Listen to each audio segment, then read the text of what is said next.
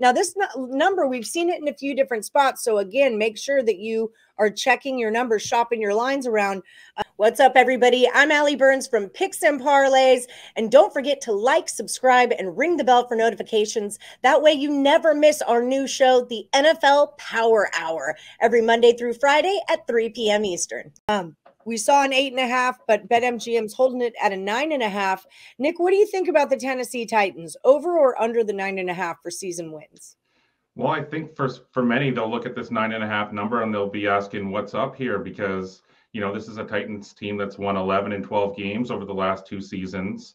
Uh, even when Derrick Henry went down with injury last year, Mike Vrabel was able to keep the team winning. It finished 12 and five last season, and now Henry's back at 100 percent.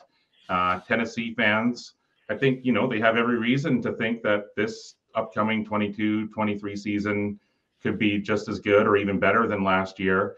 So then, what is the deal with this nine and a half number then? Uh, you know, in each of the four seasons before 2020, the Titans won exactly nine games each in each of those four seasons. Um, I think many analysts aren't convinced about Ryan Tannehill and whether he's the right man for the job. But really, I mean, over the last three seasons, he's been unbelievably solid. Uh, um, and with Henry back in the in the lineup, the offense should be just as good as it was uh, last year. Uh, with the defense, I mean, the defense was really solid last year. It should be able to pick up where it left off last year as well.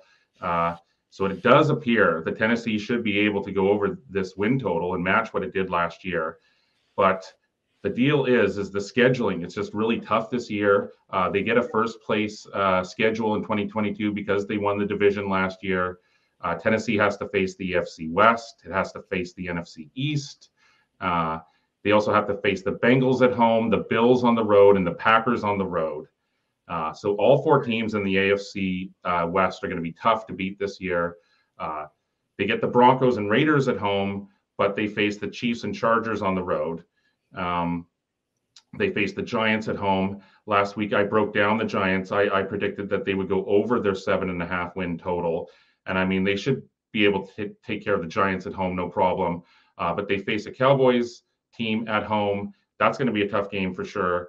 Uh, I mean, Tennessee should once again win the division. The Colts are going to put up a fight, uh, but yeah. not much is expected of Jacksonville or uh, or of uh, Houston this year. They went five and one in division play last year. They should be able to match that this year. Uh, so they are expected to do well in their own division, but facing the AFC West is going to be difficult for sure. Uh, and really, I think that going two and two against the NFC East uh, would be considered a success as well. Uh, and then for the games against the Bills, Bengals, and Packers, I mean, they could miraculously go three and zero oh, they could go two and one, but they could e- just as easily go 0 and three in those games. Uh, and so I think that I'm going to be a bit of a contrarian here, perhaps with this one, a bit of a pessimist instead of an optimist.